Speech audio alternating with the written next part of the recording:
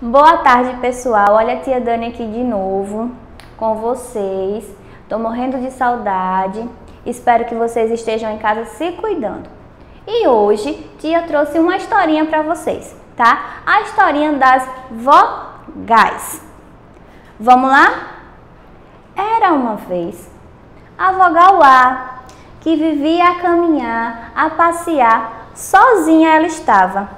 Ela estava triste porque não tinha nenhuma amiguinha para brincar.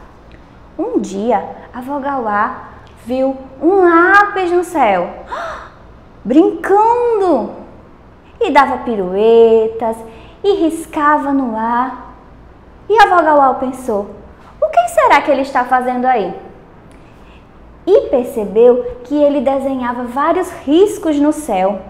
Foi aí que ela parou e observou que o lápis ele desenhou a vogal E. Mesmo assim, a vogal A e a vogal E perceberam que o lápis continuava a brincar no céu e desenhou a vogal E. Agora, a vogal A e a vogal E são amiguinhas e estão a brincar.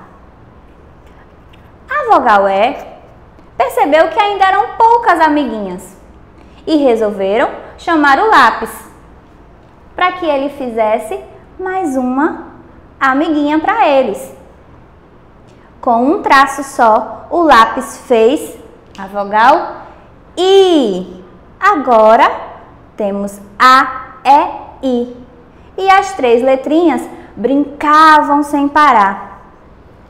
Percebendo que o lápis podia fazer muito mais coisas, pediram ao lápis que trouxessem mais amiguinhas. O lápis, num traço só, fez o O e chegou a vogal O para completar essa turminha. Mas o O disse: Não, ainda falta a minha vizinha. E logo foi chamar a vogal U. Agora, elas todas estão juntas. A, E, I, O, U. As cinco amiguinhas prontas para brincar e formar muitas palavrinhas ok? Eu espero que vocês tenham gostado dessa historinha. E continuando, quero que vocês agora prestem muita atenção nas vogais que tia vai colocar aqui no quadro. E repitam comigo, tá bom? A...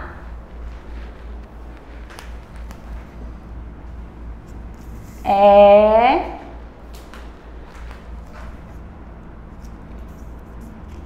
E... O, U. Mais uma vez. A, E, I, O, U.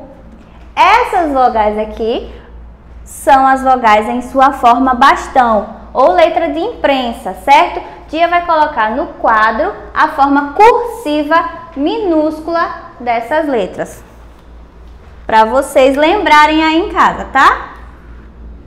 A, E, I, O, U.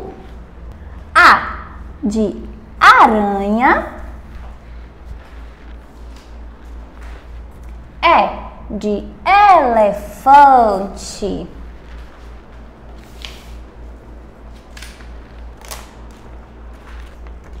I de iguana.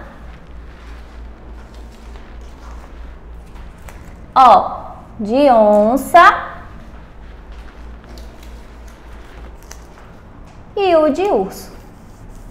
Vamos lá? Aranha, elefante, iguana, onça e urso. Certo?